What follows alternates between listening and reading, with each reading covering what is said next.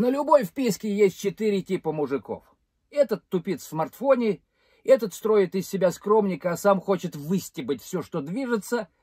А вон тот, да-да, этот жертрест в клетчатой рубахе просто любит бухать. И этот тоже любит бухать. А еще он владелец этой хаты. Узнали себя. Thank you.